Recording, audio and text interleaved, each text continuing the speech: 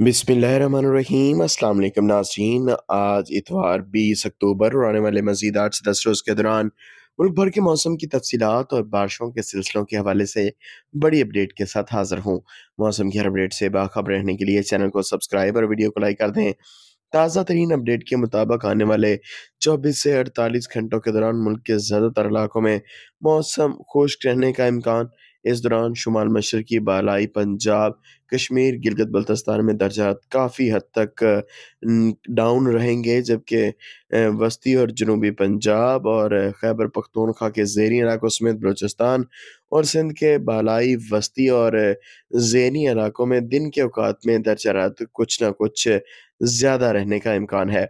हम यहाँ पर यह भी बड़ी खबर सुन लें कि बहर अरब में मौजूद सर्कुलेशन की वजह से थर पारकर, नगर पारकर, मिट्टी, इस्लाम कोट समेत सिंध के जेरी इलाकों में बाज़ मकाम पर बारिश का इम्कान।